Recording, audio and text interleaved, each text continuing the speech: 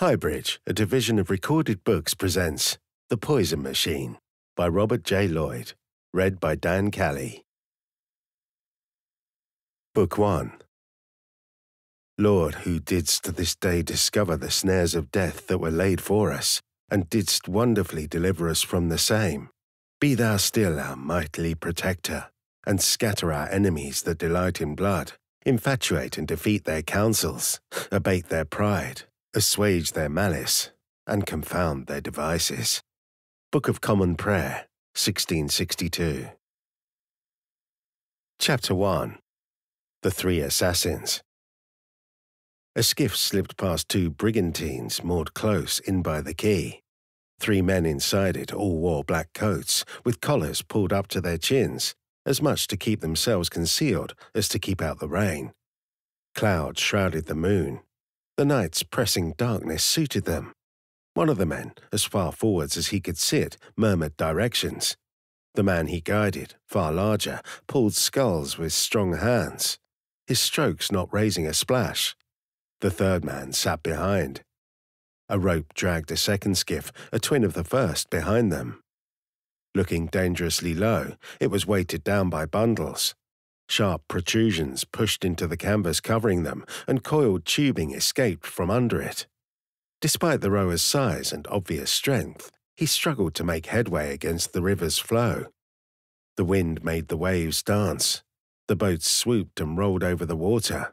The man calling the way was bareheaded, his hair tied back, exposing a high forehead liberally smeared with soot. The man rowing wore a tight seaman's cap and tough looking gloves. The third man had a black hat with a wide circular rim, hiding him from view. Without a lantern, the navigator had to judge all the different blacknesses, one against the other. Beyond the brooding shape of the tower, darkest of all, lurked the mass of the city, stretching away and up from the Thames. Only a few lights on land indicated life, lamps or candles, or a wandering watchman carrying his searchlight. The water dully mirrored these points of brightness, the hulls of the brigantines curved high over them.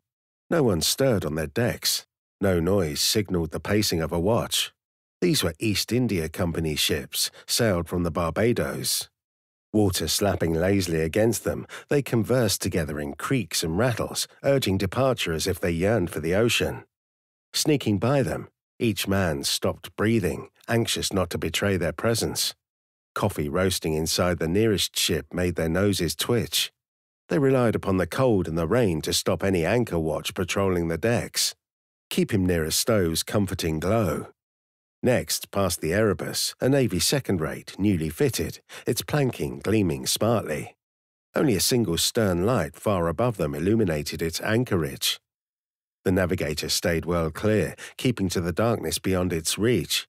The smell of tarred surfaces, hemp cloth, oil, and flax wafted over the water. The ship awaited its full complement of men, and those soon to join it, yet aware of the fact or not, were mostly ashore, spread-eagled boozily along Wapping High Street. To the west, from under London Bridge, the clacking throb of the Morice waterwheels as they pumped water through the city's conduits grew louder. To the east, the men could see the great navy sheds of Storehouse Yard and King Henry's Yard, filled with provisions for sea journeys months long. They passed more water gates, piers, and river stairs, slicked with sewage scumbled against them. The skiffs moved on, slowly, quietly, their trails scratching white on the water. The tower's silhouette expanded ominously as they reached almost to its foot. The navigator turned and pointed to a wharf running along the new quayside wall. Its rickety supports rose drunkenly from the river. The man at the oars slowed his strokes, steering them towards it. Hui! A voice called out from the quayside above them. The three men kept perfectly still, their faces turned downwards to the belly of their boat. The darkness had not served them well enough. A face peered from over the quayside wall. Be you honest, men? The man waved a lantern, its metal frame clanking at the end of a staff. Aussi vite que tu le peux, the navigator urged the rower. Va possède jeter. The rower no longer cared about any noise he made. His powerful strokes sped them towards a flimsy jetty protruding from the wharf. They would have to run to St. Catherine's Stairs. Gripping onto the rail as the boat rocked wildly, the navigator, Boileau, shouted to the man under the hat. Qu'allons-nous faire? What shall we do? Nous devons le tuer, il nous a vu, he replied. We must kill him. He saw us. Behind him, the rower, Verdier, strained at his sculls, hefting them through the water. But Boileau knew anyone running along the quayside could easily keep up with them. The voice had sounded elderly, perhaps belonging to one of London's watchmen, employed to keep them from the almshouse. They covered the distance to the small sufferance wharf, its jetty barely higher than the level of the water. Crashing against its timbers, their skiff skewed sideways. Boileau jumped to the jetty and slipped on the rain sodden wood. He fell on his back, his feet in the river, the impact winding him. Verdier dropped his sculls to follow, scrabbling his way next to him and quickly tied their boats. The third man reached for the higher platform of the wharf and climbed up in one swift, easy movement. Boileau rose from his fall, sliding again. Boileau and Verdier crashed along the length of the jetty and turned onto the wharf where their companion waited impatiently. They all reached the foot of St. Catherine's stairs, pitching steeply up to the quay, to where the watchman had called to them. The man in the hat waved Boileau to go ahead. Breathing hard, Boileau reached the last stair and found himself on the quayside. He saw no one. He jogged between two sheds where the shadows were deepest, keeping his footsteps light. The smell of fat from meat brought in by a Greenland whaler, the boiling performed that day on the quayside, nearly overpowered him. As his colleagues reached him, Boileau motioned them to silence, pressing his lips together with his fingers. He listened into the blackness surrounding them, his concentration probing it for the sound of a boot or the rattle of a weapon. All he could hear were the Morice water wheels and the rain hitting the ground until a new sound joined their noise.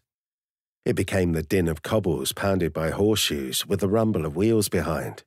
Torn between running from the noise of the carriage or looking for the watchman, Boileau chose to stay perfectly still. Ahead of them, at the end of the short lane, the horses slowed, their driver uncertain, and came to a stop. The coach's wood, leather, and iron all made their individual groans and grumbles at halt.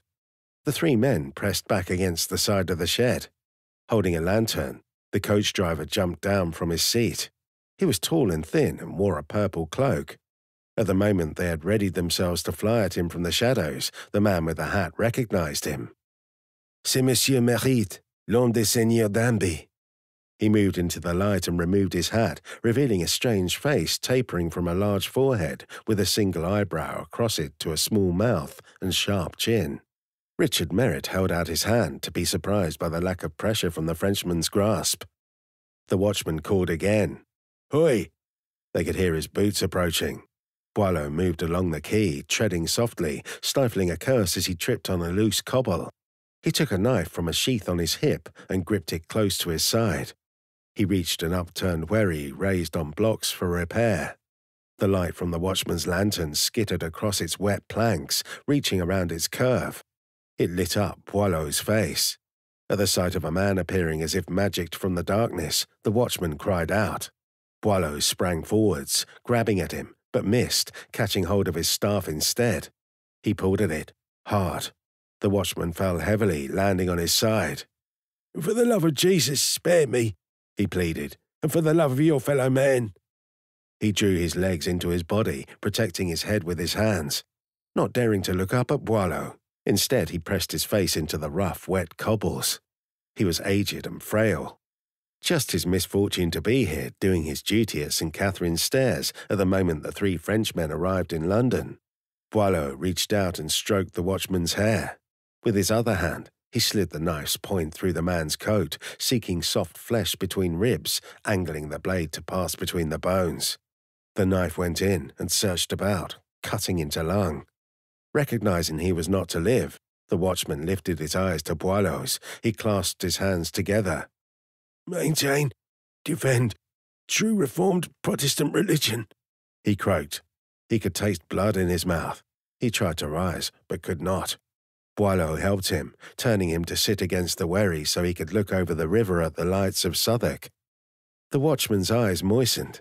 His breathing slowed, then stopped. His head lolled back and came to rest, his jaw sagging to one side. Verdier arrived next to Boileau. Together, they studied the watchman, as if seeking some enlightenment on the nature of death. Finding only stillness, Verdier moved to pick up the body by the armpits, and Boileau took the feet. They carried him to the edge of the quayside. Verdier found a pair of loose cobbles, which they placed into the dead man's pockets. Moving smoothly to them, the man with the single eyebrow and sharp chin signalled his assent. Boileau and Verdier heaved him into the water, then threw his staff and lamp in after. As they watched the dead man disappearing into the Thames and the last bubbles and ripples settle, the three Frenchmen each made their signs of the cross. Chapter 2 The Unwelcome Letter Mr. Robert Hooke, Curator of Experiments at the Royal Society of London for the Improving of Nature Knowledge, and its Secretary pro tempore, made his rapid way up Pig Street. A busy man, he was also Gresham College's Professor of Geometry and Surveyor to the City of London. He worked as an architect, too, Plaster dust from the works at Somerset House powdered his face. Queen Catherine wished them complete by the time of her consult, and he worried there was not enough time. With his silver eyes and grey hair, he was a pale and ethereal presence scuttling towards the college. In his hand, a letter. He held it stiffly before him as if it led him along. After last night's rain, the afternoon sun raised a mist from the pavement and warmed his crooked back, but did nothing to improve his mood. Hooke bristled. Although, he reflected, he had no right to bristle. He sniffed, his tubes full of sticky goo. Then he tutted. Why should he bristle? He had no jurisdiction over the letter's addressee, except as a mentor and, hopefully, as a friend. As someone who took care to protect him from himself, although Hooke had often failed to do so, the young man's nature being headstrong. Headstrong, but gaining a reputation as an able natural philosopher who desired to replace Hooke as curator. Hooke now acting secretary after Henry Oldenburg's unfortunate death, and too stretched to be both. It must be ratified by the council, naturally, and Hooke could show no preference. The Royal Society needed the best man. One or two other possibles, yes, not as skilled, not so diligent, but without the unfortunate streak of obstinacy. Less likely to be troublesome. Hooke passed a shop with its windows smashed, the second he had seen that day. An indignant family stood outside, looking at the damage. Some of their goods, and even their furniture, lay broken on the road. Catholics, he presumed. He nodded sympathy at them, but received only sullen looks in return. Discomfited, he scurried on. Broad Street now, his thoughts soon returning to the letter. He had collected it at Garraway's coffee house on Exchange Alley, when there for his habitual hot chocolate and a glance at a Muddiman's news sheet, he considered again the curious fact it had been sent there. The wax seal, three cannons and a cannonball for each above them, and the writing, easily recognized, made plain it was from Sir Jonas Moore, Surveyor General of the Board of Ordnance. So, Hooke induced, Sir Jonas was out of London with no way of finding the address he wanted. Didn't send the letter to Gresham College, which likely meant he hoped Hooke would not see it. No doubt there was some calculation of the risk he would see it, which meant the letter was important enough to send anyway. Sending it to Garraway's was a clumsy attempt to bypass him, Hooke thought. Perhaps done from consideration for his feelings. His sender was not normally a careless man. Sir Jonas was careless, though. Hooke was sure of the consequences of this letter. It was a threat, to peace, to continuity, to the well being of the Royal Society, and to the young man about to open it. Its sending was like plucking at a taut wire, exciting its full length into vibration. Hooke passed the church of St. Peter le Poer, then turned through the archway leading into Gresham, as he had done several thousand times before, to walk through the stable yard, into the cool shade of the colonnaded walkway surrounding the quadrangle, towards his rooms at the southeast corner of the college. He looked again, reproachfully, at the name on the letter. Sitting on the window seat of her uncle's dining room, Grace Hooke overlooked the quadrangle. The noise of footsteps had distracted her from the globe she traced with a wistful finger along the journeys she could take. Her only travels were between her mother on the Isle of Wight and her uncle in London. She turned to the man with her, who was busy at the dining table surrounded by the clutter of philosophical instruments, books, and curiosities. Frowning at her movement, he lifted his spectacles, beginning to despair of his drawing. As she sat sideways to the window, the daylight spilled over her. It was the light, he told himself, he tried to reproduce. Put aside the teasing way it shone through her dress's fabric, revealing glimpses of her form. Uncle returns, Grace said, looking unhappy. They heard Hooke let himself in, then his characteristic climb of the stairs, the shuffle, the lopsidedness. He entered the dining room, combing plaster from his eyebrows with his fingertips. Hooke stared at them both, hoping to see the immediate past, wanting to know what they had spoken of, or, a worse thought, done. He could not approve of how close Harry and Grace had become, even if their satisfaction with one another was clear. Seeing nothing amiss, although Grace was immodest in her choice of dress, he passed Harry the letter. Affecting a tranquil air, he went to adjust his new long-case night clock, its numerals made luminous by an oil lamp placed behind them, made to his design by Edward East. Harry studied the seal, with its cannons and cannonballs, and the writing. Mr. Henry Hunt, at Garraway's in Exchange Alley by Cornhill, London. It's from Sir Jonas Moore, Harry said. The Vice President, Hooke answered, but not Royal Society business. He pretended to forget the matter of the letter and, apparently pleased with the clock, went to hang up his coat. Grace shot a look at Harry. A letter for him was unusual. A letter from Sir Jonas was momentous, and that it was sent to Garraway's, not to Harry's home at Half Moon Alley, nor to Gresham, she thought, was curious. Harry answered her look with a Punchinello gurn, peeled off the wax, and opened up the letter. 15th March, 1678-79. Sir, I'm in the fens of Norfolkshire at the place named Denver where a dead man has been found by the sluice. I desire your opinions. I say no more of it, so your mind may remain clear of previous notions. Your skills and your character suit you well for the matter. I beseech you to assist me. I wish you to work with me as an investigator at the Board of Ordnance, as did I before. I'm allowed by the Master General to give three times the pay you receive from the Royal Society. Do not think upon it long. The body will not keep. Your friend, Jonas Moore. Badly concealing his impatience to know the contents of the letter, Hooke opened the manuscript copy of John Wallis's Treatise of Logic, which Wallis had asked him to review. The King's cryptographer had worked at it for years. At last he thought it nearing readiness for publication. Harry passed the letter for Hooke to read instead, observing the change on the older man's face as he did. I'm still against working for the Ordnance, Harry assured him. I wish only to be curator, although in truth, it's a generous offer. Hooke's voice was quiet. The Royal Society could never pay as much to an observator. Would it improve the pay of curator? Grace asked her uncle.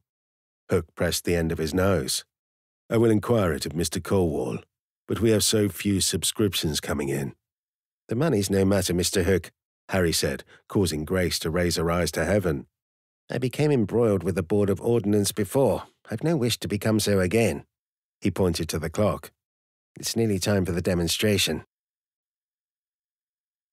Chapter 3 The Experimental Trial The reading hall, where Hooke's demonstrations usually took place, was being repainted so the repository had been pressed into use. A long, narrow room, little more than 12 feet wide. It ran the length of Gresham's West Gallery. Despite its windows being open, the air inside was torpid. Cloud covered the earlier bright sun, the grey lights seemed oppressive.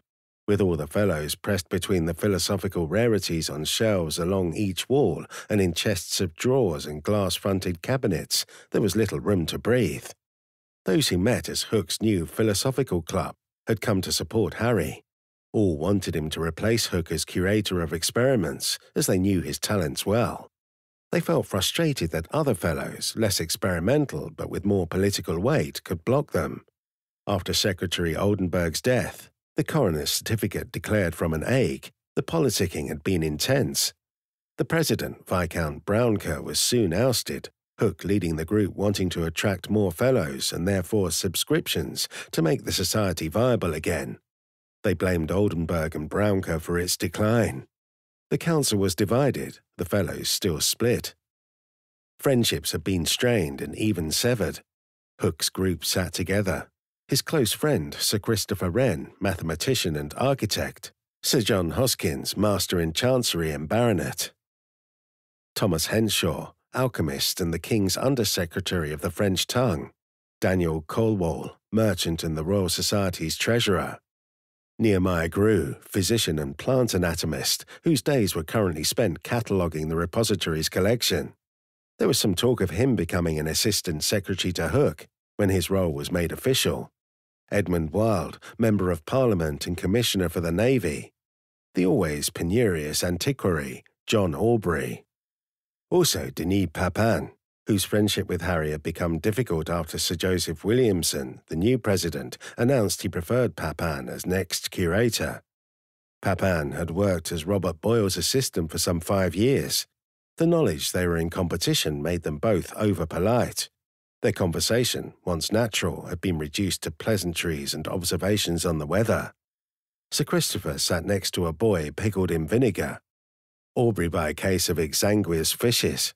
There was a monstrous calf with two heads, a stuffed African parrot, and an alligator's bones needing sorting. Various growths removed from people and animals, shells, insects, shrubs and plants, metals and ores, salts and sulphurs, fossils, the petrified indications of animals long gone, gems, including diamonds, rough as they were found.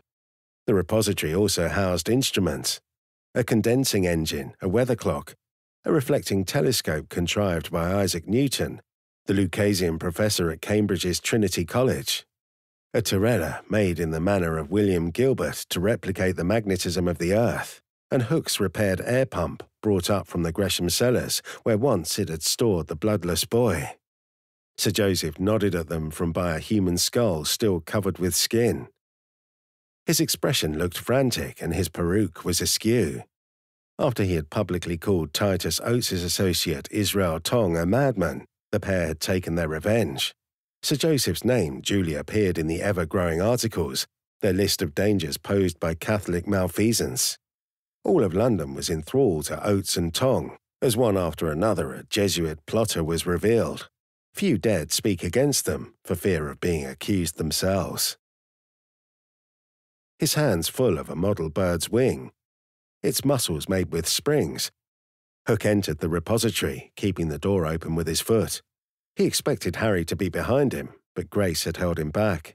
Harry bent to kiss her, but at the last moment she turned away. Laughing, her fingers slid from his arm as she let him go inside to the men. Harry bowed respectfully to the fellows, then stepped up on the dais. He carried a stand and a box, he had thought exhaustingly about which experiment to show. It must be new. It must entertain, but also have enough profundity to raise speculation. It could not just be sound and lights, a spectacular. It needed to intrigue. He brought out a jar from his box, another and two more. He placed the stand he had built onto the little desk he had chosen, big enough for the demonstration, but small enough to leave room for the fellows to gather around it. His stand had a threaded bracket with a turn handle to allow pressure to be brought upon the materials placed beneath it. From the first jar, Harry took tiny white crystals, spooning them into a shallow dish. His hands were shaking. He was sure the fellows could see. We learn as much from trials that fail. Hooke tried to reassure him, but his choice of words did not really serve to encourage. The other jars held crystals of quartz, some cane sugar, and a salt Harry had prepared. Lastly, he produced a length of pig's thigh bone he had sawn across, making an irregular cylinder with two flat ends. He motioned to the fellows to come closer. Rochelle salt? Sir Christopher guessed, looking closely at the white crystals in the dish. Prepared in the manner of Monsieur Seignette, Harry replied. Harry, what are we about to see? Hooke asked. Harry had deliberately kept quiet for days about his demonstration, hoping to pique their curiosity. Let me perform the trial first, so you may all observe without prejudice. Placing the bone into the bracket, he tightened the turn screw enough to grip it, then produced a thin sheet of gold from his box, which he hung vertically from the stand. He placed it so it almost touched the bone. He turned the screw. The wood squeaked as it worked its way into the thread. He watched the gold sheet intently. The fellows became just vague shapes clustered around him. Nothing seemed to be happening. He fumbled for the handle to turn it more. In his lodgings at Half Moon Alley and in Gresham's laboratory the night before, with Grace helping him, it had worked. Both clearly saw the gold sheet deflected by the piece of bone. All the fellows knew of electricity since its investigation by William Gilbert and its naming by Thomas Browne. As long ago as Thales, the effects of rubbing fur on amber had been observed. But this idea of pressing to make electricity was wholly Harry's own. It must happen again. It must. Although the temperature in the repository was distinctly cool, Harry started to sweat. Perhaps the gap between bone and gold was too great. Harry adjusted it, bringing them closer, and turned the screw again. The wooden stand groaned. Still, there was no effect from pressing the bone, nothing for them to see. A few of the fellows began to mutter. Mayhap the quartz, Hooke suggested. If I knew what you sought, I might be more helpful. He sounded peevish, I shall give the apparatus another turn, Mr. Hooke. Harry needed the fellows to see him as his own man, not still as Hooke's assistant. His moist palm slipped from the turn screw. He had polished the wood too well, wanting to make a show of his dexterity. A roughened surface would be better. He would remember for his improved version. He twisted it again. A dreadful cracking sound came from the stand. He had turned the screw too tightly. The bone resisted. Harry's bracket split in two. The stand toppled. Bracket and bone fell from the desk. The turn screw dropped out of his hand and bounced across the floor. Choosing that moment to appear, sunlight streamed cruelly over the desk, with Harry's stand prostrate across it, the broken bracket lying on the dais, and the pig's thigh bone over by the door, as if fleeing the repository. There was no sign at all of the turn screw. Harry slowly straightened from his trial. The faces before him wore a mixture of expressions. Some seemed horrified, their eyes wide. Edmund Wild had his hand to his mouth. Sir Christopher winced as if in pain. Some looked sorry for his predicament, which made Harry feel unaccountably angry. John Aubrey supported him, he knew, yet looked as if he stifled sniggers. And was that a look of complicity the President, Sir Joseph, directed at Denis Papin? Harry's shoulders slumped. Blotches of red coloured his cheeks. First to speak was Robert Hooke. Harry, your investigation into the pressing of bone may continue, if the bracket in my observatory will suffice. Currently, it holds my selenoscope, similar in size and shape, and I would say more robust. A stronger one is needed clearly, Papin said. Hooke moved to the door, opened it, and gestured through. Go, Harry, fetch my bracket. We shall perform another trial, and you may try yours again upon your return. Monsieur Papin, you too have a trial for us? Harry picked up the broken bracket from the dais, then replaced the stand on the desk. Don't bother with that, said Papin. I must remove it for my demonstration, which needs more room than yours. Harry turned from the fellows, all still watching him, and retreated from the repository. As he returned to Hooke's lodgings, through the colonnaded walkway, his eyes were stinging. He wiped at them. What best to do? Well, he would try Hooke's bracket. What else could he do? He could not simply sulk, although that was all he wanted to do. Back in Hooke's dining room, Grace saw his stricken expression and rushed to him. Unable to bring himself to speak, even to Grace, Harry squeezed her hand, then climbed the steps to the observatory above Hooke's lodgings, a high platform built over the roof of the college. He tried to take Hooke's selenoscope from its stand, wrestling with the release. The skyline over Bishopsgate began to spin. He felt sick a sudden feeling of his chest constricting. With it came the terrifying notion he was doomed to fall from the observatory into the quadrangle below. For over a year, this dizzying dread had occasionally visited him, since a misadventure at the top of the Fish Street monument. He could not believe it should afflict him now when he most needed to impress the fellows. He knelt and put his hands flat on the wooden planks. He willed himself to calm, pleading with his own body. Slowly, his breathing resumed a normal pace. At last, he managed to hoist himself back to his feet and drag Hooke's stand with its bracket back down to the dining room, where Grace awaited him. I shall try again, Harry said. She kissed him. Harry stood listening for a while outside the repository door. The room was silent, which seemed strange. As no one was talking, he would not be interrupting, so he opened the door as quietly as he could. A thump on the wall next to him was followed by the fellows loudly applauding. Bewildered, Harry ventured in. He could see Denis Papin at the far end of the room, aiming a gun just to the side of the door. Turning, Harry saw a wooden target. It swung from a bullet's impact, but there had been no sound from the gun. Papin held the weapon up for the fellows to see, then held it towards Harry as he came in. My air gun, Harry. Harry turned to the target, a series of holes neatly clustered at its middle. Sir Joseph stepped forwards to bring Harry further into the room. Monsieur Papin has shown the accuracy and silence of his air gun, and Mr. Hooke has demonstrated his flying wing. Mr. Hunt, are you ready to try again your pressing upon bone? Harry held up Hooke's stand to show him, along with the bracket. The sunlight shone through the hole made for the turn screw in Hooke's bracket. Harry observed the thread cut into the wood. It was quite worn from the times Hooke had used it in trials here in the repository, or in the reading hall, or in the gallery, or in the laboratory, his dining room, or up on his observatory. The light picked out each wind of the thread's helix in sharp relief. He exhaled all the air out of his lungs and pressed his scalp with his fingers. I must go back, he told the fellows disconsolately. I've left behind the turn screw. Worry not, Sir Joseph said, not unkindly. Ashamed to forego your experiment, I must return now to Whitehall to meet with the king. He disbelieves Titus Oates and thinks I can be of help against him. We may observe the assuredly curious effects of pressing on another day.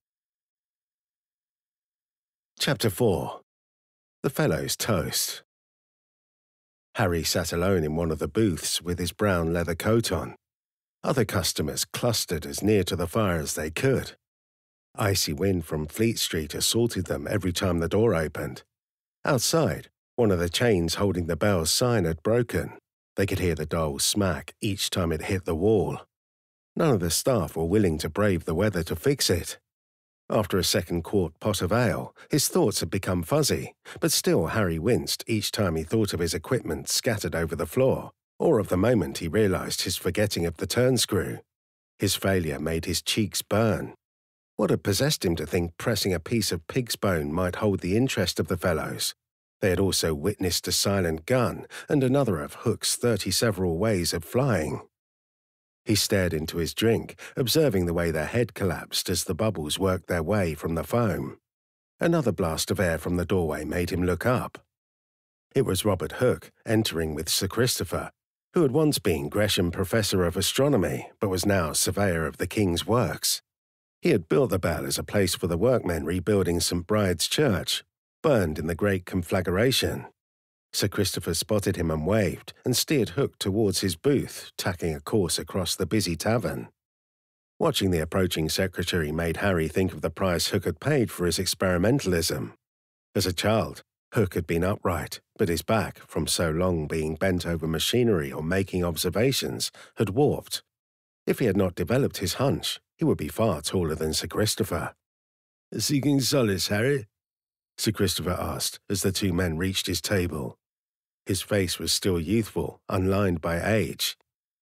Robert, more claret, or are you eager for the port? Wren swatted his reddened cheeks. Unseasonably cold. It was pleasant this afternoon. This wind. I shall take first some watered cider, Hooke replied after sneezing loudly into his handkerchief. He had already shared two bottles of claret with Sir Christopher in the Devil. Sir Christopher's face came close to Harry's, sending fumes over him. Harry? Some Danzig bread wine, Harry answered mournfully. After beer, as a remedy for your hurt pride, it may prove efficacious, though in moderation only, else it shall only exchange one sorrow for another. Wren looked around at Hooke and spoke out of the side of his mouth. He means to punish himself for the failure of his experiment. He turned back and placed his hand on Harry's forearm. What were you hoping to show? The pressing of a length of bone. Very mysterious. I cannot imagine. I've observed electricity emanate from bone when pressed with enough force, Harry replied. Also from quartz and sugar and Rochelle salt. Immediately from the pressing? What can this signify? I wished to raise the debate, Harry said.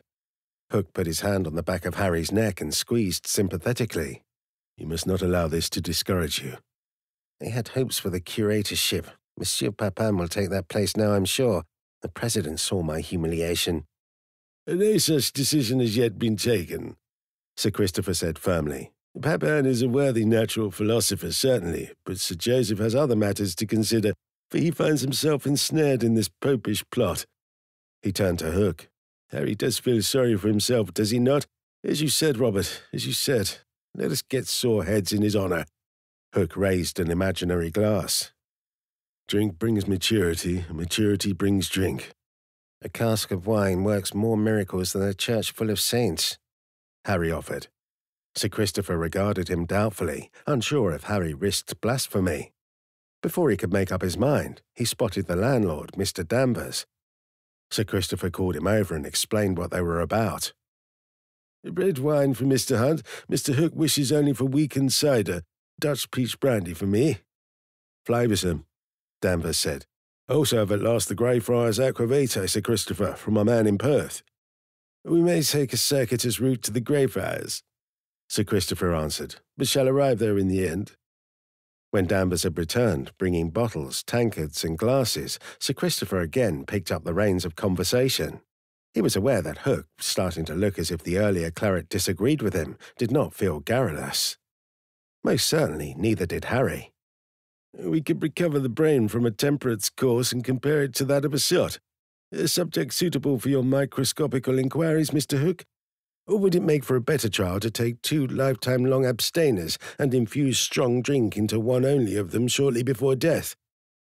It may be considered unchristian to do so. I speak partly in jest. Sir Christopher's philosophical pondering was broken off by the arrival of Daniel Colwall, the Royal Society's treasurer, who brought with him Thomas Henshaw. Harry, you look as miserable as Prometheus upon his rock, Colwall said. I'm so very sorry about your experiment. He had the clean look and the quietly fashionable clothes of a very affluent man. He should replace Mr. Hooke as curator, Henshaw said. Despite his misfortune today, we know he owns the abilities. We are yet to convince Sir Joseph, Wren said. Electricity from the bone may have done so. There are other plans for him. Hooke's voice broke slightly, and he looked down into his weakened cider. He stood, raised his tankard to the group, then gulped down the remaining cider with a single draught. Brandy. Sir Christopher quickly poured him some, at the same time looking puzzled by his interjection. Hooke took the glass and tipped the drink straight down. I see you mean business, Colwall said, taking off his coat. I shall procure more of the same. Mr. Henshaw, do you wish to join us? Henshaw considered a while, rubbing his jowls. Some Geneva, I think. Colwall went to the serving table and negotiated a level of credit. Just make mention to me when we are spent up, Mr. Danvers. The landlord looked amazed. Colwall, as treasurer, was rarely celebrated for generosity. Colwall returned carrying a bottle of Geneva and various bottles of claret. Geneva, Mr. Henshaw? Sir Christopher asked, settling into his place. A remedy, really, is it not, invented by Sylvius as a diuretic? Does it work upon pride, do you think? For Harry's here is hurt. I observed the damage done to it at Gresham, Henshaw replied as he produced an Indian pipe. It looked an intriguing trial. I shall demonstrate it again, Harry answered, with an improvement to the bracket. Metal rather than wood, Hooke said, his face now subtly green. Less chance of breaking. And the handle was too smooth, Harry remembered. I noticed, Hooke replied over loudly. After much clinking and pouring, the five men raised their glasses to one another and drank to the success of Harry's future experiment. To Harry, Harry, to Harry as curator of the Royal Society. A loud disturbance made them look up from their toast.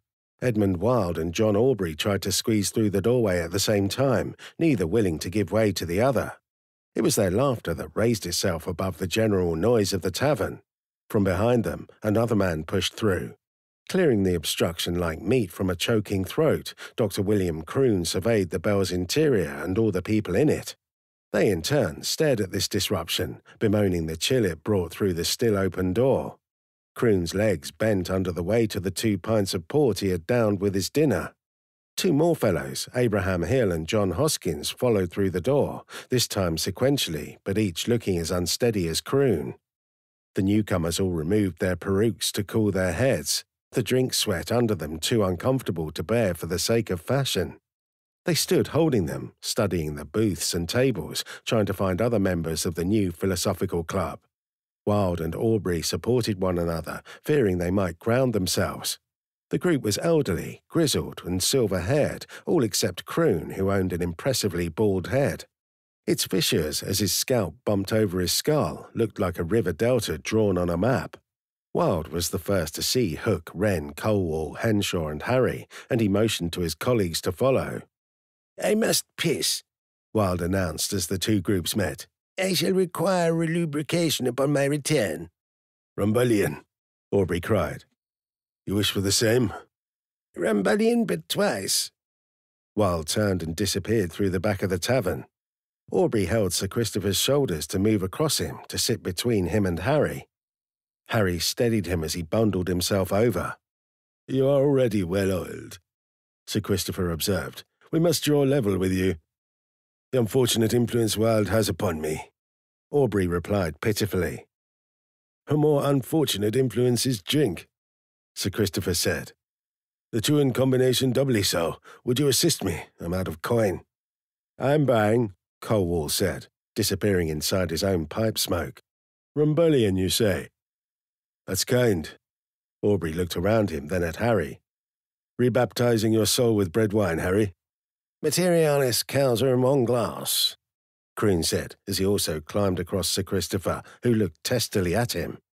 Shouldn't like your trial did not work. Be not too downhearted. Hill and Hoskins stayed at the end of the long table, debating if they could complete the same journey. Eventually, they moved past Hooke, who rose unsteadily for them to the other side of the table. We're making a toast to Harry, Hooke explained when they were all settled, to the more happy repetition of the trial of pressing upon bone. And Rochelle salt, Sir Christopher said, as prepared by Monsieur Seignette.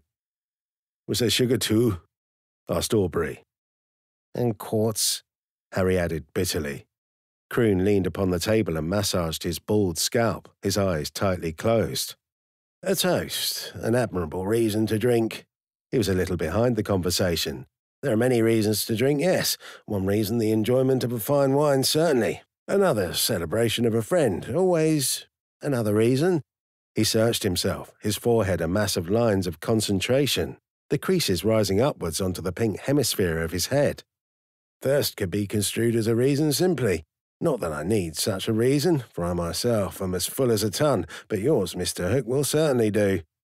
By the end of this speech, Croone had lost his energy and the use of his lips. When Wilde returned, with spatters of urine down the front of his breeches, they all completed the toast to Harry, each man adding his own variant on their hopes that his experiment would succeed next time he demonstrated it. Wilde's toast consisted of, If I die, let me die drinking in an inn. They drained their glasses. Sir Christopher called over a serving girl to replenish their drinks. As she listened to them fussing over their next choices, Aubrey smiled stupidly at her. She was young and solemn looking. Her dark eyes regarded them steadily. She had already seen enough in her short lifetime of the foolishness of men. You stand no chance with her, Mr. Aubrey, Wilde averred after she had left them. You're old enough to be her grandfather. You have no coin, and you're full of drink. You could not do what nature designed you to do, even if she did accompany you outside. Sir Christopher looked disapproving. You discuss the girl as if she were a doxy. I mean no offence to her, Sir Kit.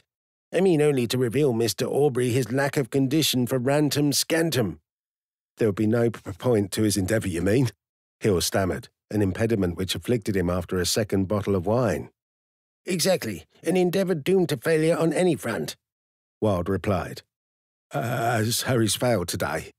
Ah, poor Harry. I'm sorry for your difficulties. Wilde said, nodding vigorously. Your bone slipped out. Fell off, as I recall. Henshaw said, puffing happily on his pipe. It spilled over the floor, Colwall said with a start, catching on to the game. Your equipment failed you, Croone said at last, opening his eyes from vertical to horizontal in the blink of an eye. Aubrey looked pleased with his contribution. It certainly compared poorly to Monsieur Papin's weapon, Hoskins added. He did not get his screw. Hill swayed, not knowing whether to laugh or be sick. The men puffed out their cheeks and pursed their lips and looked down at their hands with tears in their eyes. even Sir Christopher and, most hurtfully of all, Robert Hooke. Greatly offended, Harry stood, buttoned up his coat, bowed to each of the men with him, and staggering from beer and bread wine, pushed his way through the crowd. Behind him, the fellows could contain their laughter no longer. It burst from them, loud, raucous, and wounding. Harry slammed the door and marched out into Fleet Street, not even pausing when the bell's sign smashed to the ground just in front of him, pulled off the wall by the wind. Its metal frame sparked on the paving stones. He stepped over it and returned with stiff legged strides to his lodgings in Half Moon Alley in Bishopsgate without. Chapter 5 The Doting Lovers Under the pale haze from a lamp marking the way, Harry passed through one of the medieval breaks in the Roman wall to cut across the grounds of the Bethlehem Hospital. Newly built on the marshy land drained to make the grand park it occupied, the vast building stretched across his vision.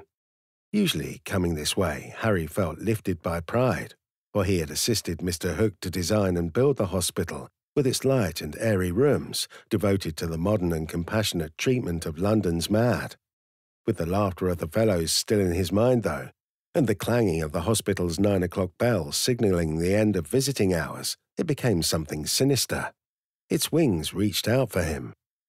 Clumsy from drink and feeling queasy, still harking on the fellow's discourtesy, none even addressed him as Mr. Hunt, for to them he was always Harry. He went into the churchyard, crossing the rough open ground where the old hospital had stood, Tree branches shook themselves fricatively in the wind, seeming to warn him away. He only left behind this foreboding mood when he turned into Rose and Crown Court, then Half Moon Alley.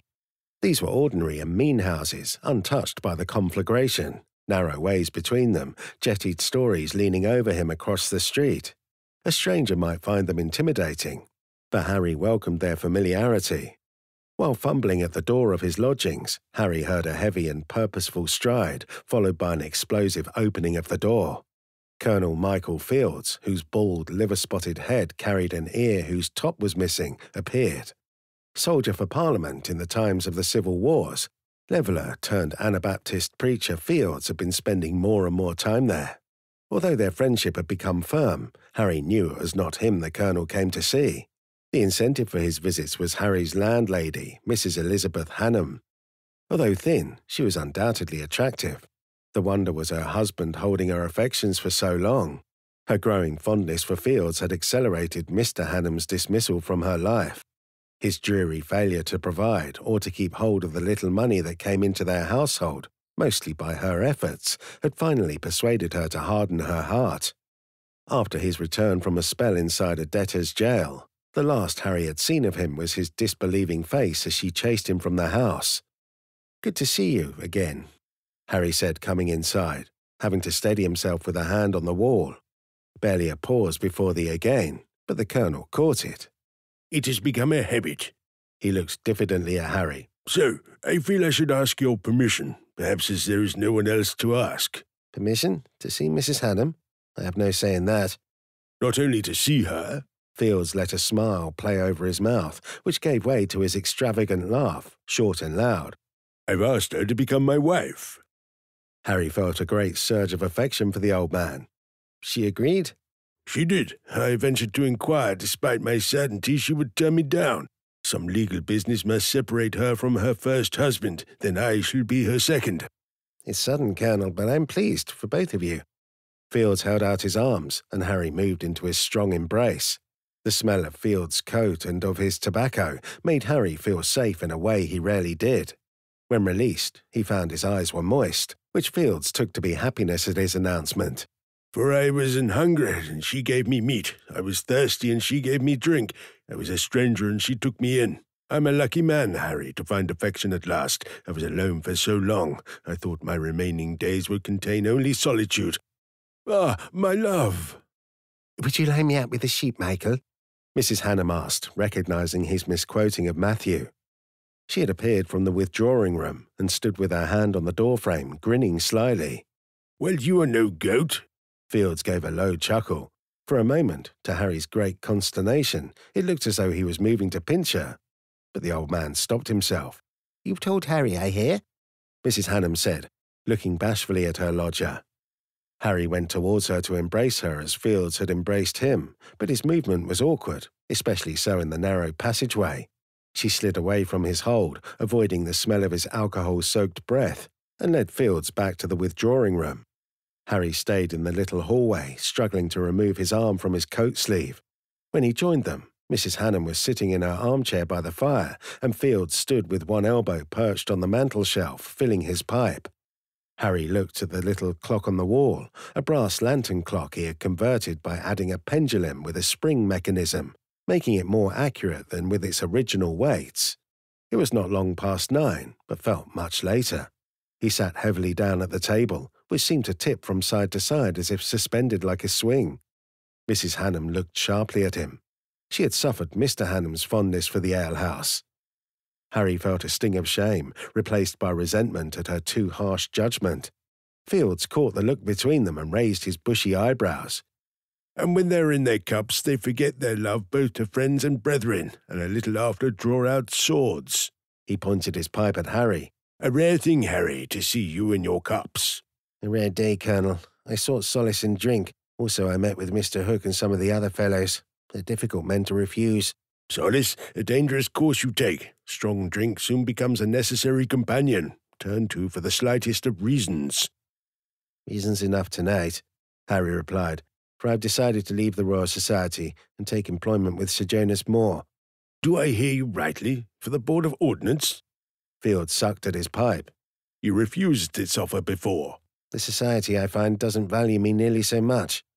Mr. Hooke loves you like a son, Mrs. Hannam said, Tomorrow you'll awaken sober and more sensible. This afternoon I lost the chance to be curator. This evening I was mocked by the fellows, by Mr. Hooke even. It's time to leave. Sir Jonas asks that I travel to the fens. Fields rubbed at his arm, an old injury which still troubled him, especially in the spring. The fens, a dreadful place. I was there for a time in the wars. How the bog dwellers tolerate it even if they have become senseless to the bites of all the mosquitoes is mysterious to me. Fields glanced at Mrs. Hannam, who shook her head to him. Heed what Elizabeth says. Give time for your thoughts to settle. The Royal Society has been your life. Fields suffered a coughing fit as he mistimed his inhaling from the pipe. You would not wish to swap Gresham College for the Fens, he said when he had recovered. Whereabouts in the Fens does Sir Jonas desire you to go? Fields' distaste for even saying the word was evident. The Denver Sluice, part of the works to drain the marshland. A body has been found. Mrs. Hannam stood, ready to retire. I'll leave you men, since I dislike talk of bodies. Don't decide, Harry, as I say, until the morning. I'll bid you both your good nights. Elizabeth, wait, my love, Field said. I shall come with you. He extinguished his pipe, tapping it out into the fireplace. So think on it, Harry. Always be cautious at times like this, for such choices make the shape of your life. From time to time, since the wars, Fields suffered from tremors, and his head gave a brief convulsive shake now. Take my word, won't you, from wisdom gained through years of tumult and my survival of them, and besides, you're as drunk as a blood. He took Mrs. Hannam by the hand, and together they left Harry to his own thoughts.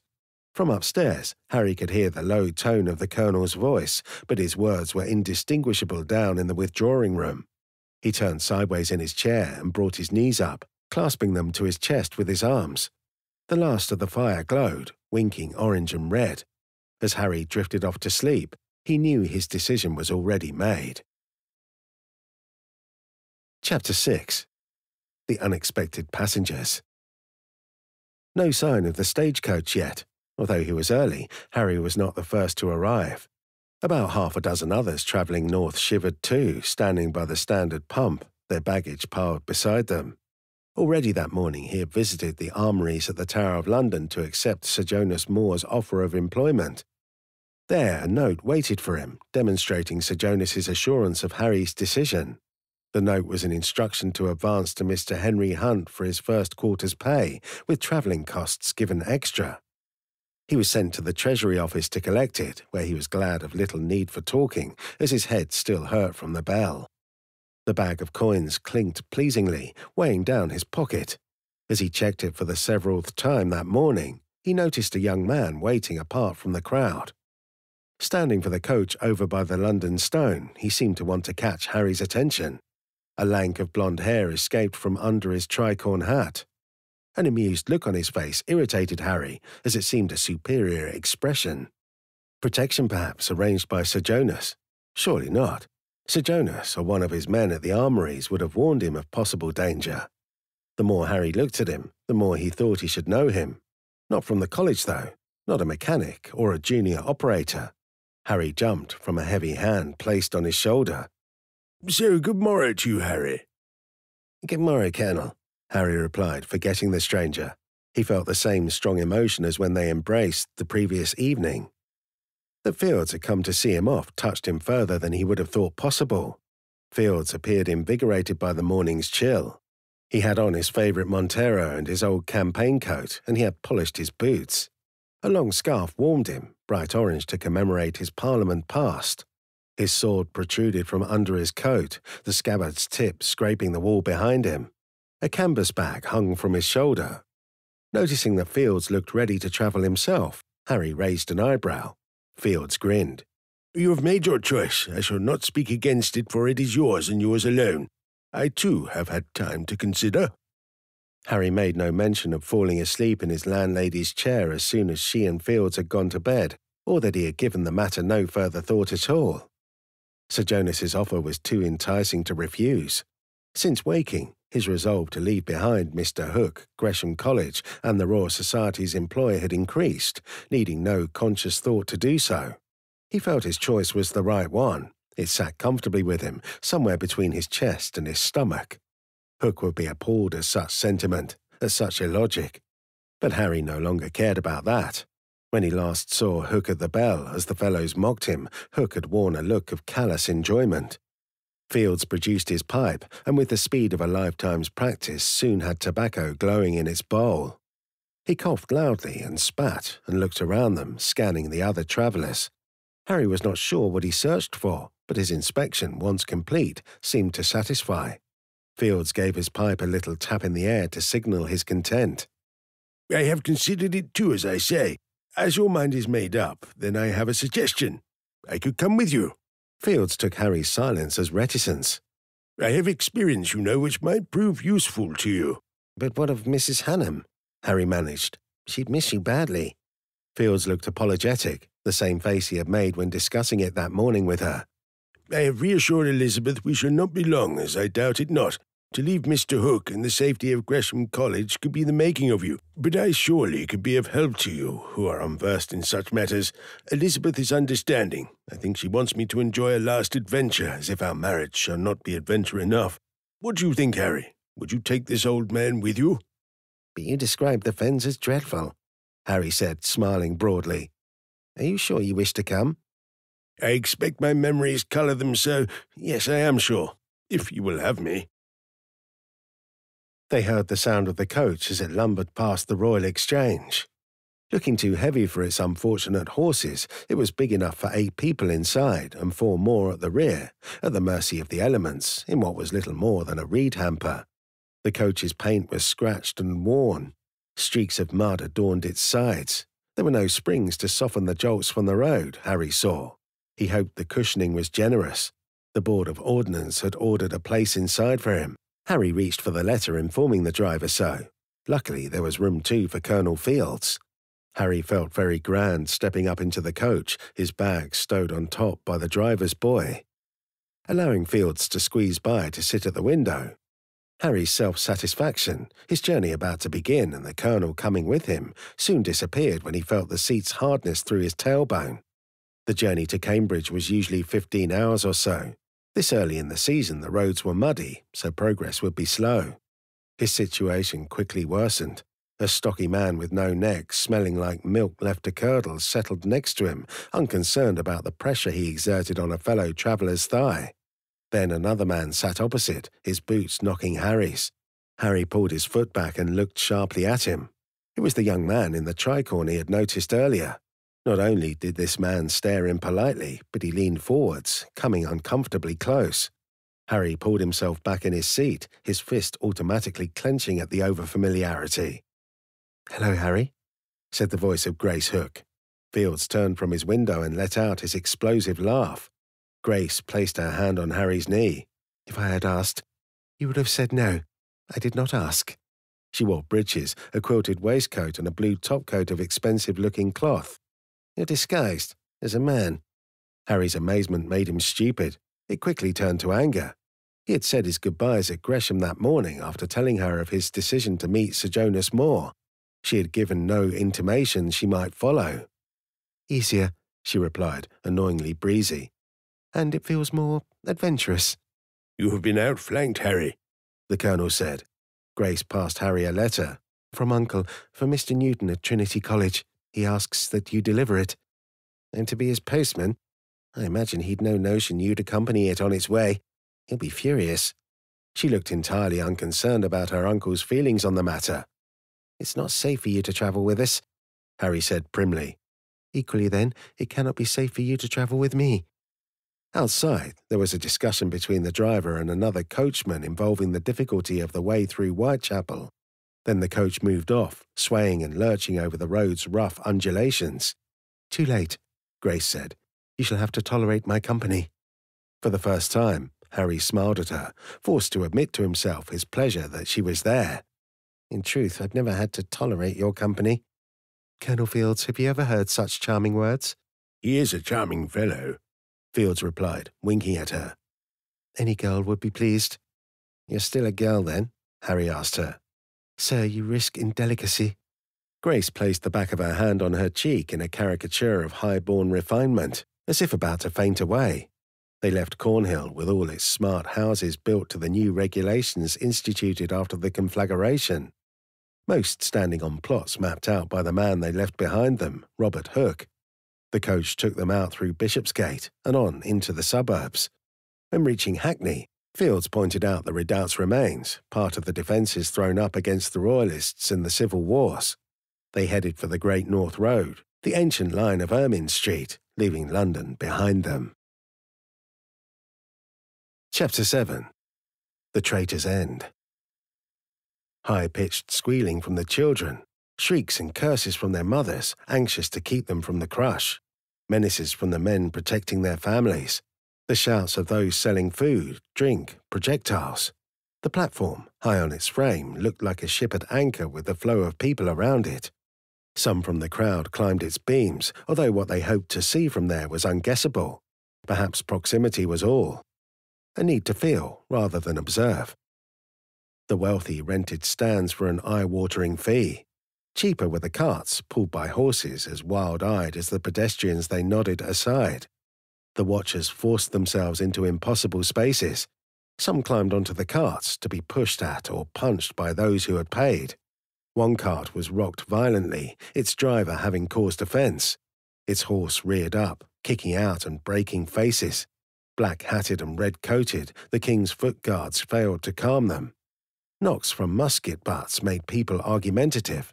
Sneaky jabs to a uniformed back, a sly kick at a soldier's ankle. All innocence when the man swung around. All outrage if he retaliated with a swipe. Too few soldiers to suppress this mob if it became truly rowdy. Those who guarded the edge, furthest from the grim platform, looked nervously towards the tower for reinforcements. At last he appeared, the traitor William Howard, 1st Viscount Stafford. Bent forwards, head low on his chest, more soldiers led him through the crush. A growl went through the people. Here it was, the reason they had come, the reason they risked being crushed one against another. The moment of release, of purgation was due. The thrill of it made them shudder. His last chance not to dissemble, to speak before God. And then the death. Stafford could hardly hear the noise and was barely aware of the bodies around him. Despite the crowd and all the jostling, as he reached the scaffold, it was the handrail he noticed. Quickly sawn, the wood was rough to his palm, and he soon let go for fear of splinters. Absurd, he thought, as he mounted the steps, but it was his body's natural reaction. The sudden jerk of his hand brought him to. Details around him sharpened and magnified as if seen through a lens, a flag snapping in the wind on the White Tower, a woman leaning from a window in Muscovy House. Latecomers pushing through from Seething Lane. Every sound, too, became amplified, the bells ringing in the new tower of All Hallows barking.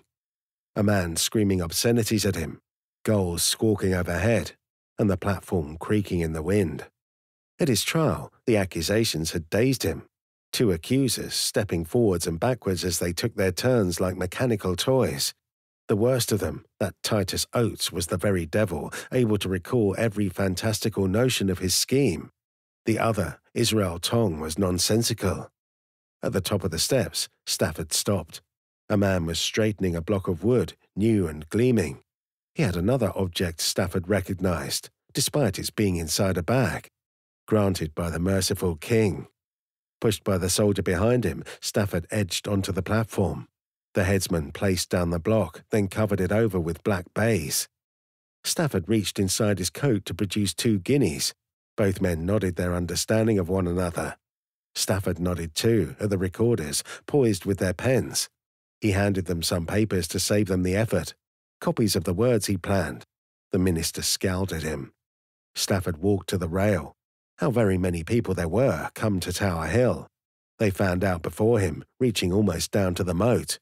He looked over them, his head turning slowly. As they hushed to hear him, he leaned forwards and gripped the rail, fearful his voice would fail him. By the permission of little more than a croak. No chance those at the front could hear, let alone those behind. He cleared his throat and began again.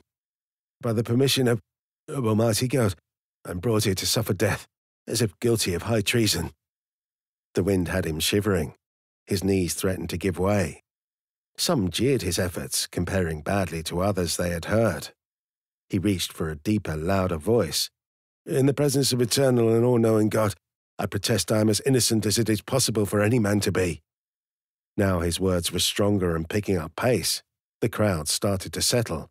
Had I a thousand lives, I would lose them all, rather than falsely accuse myself or any other, for then I should have no hope of salvation.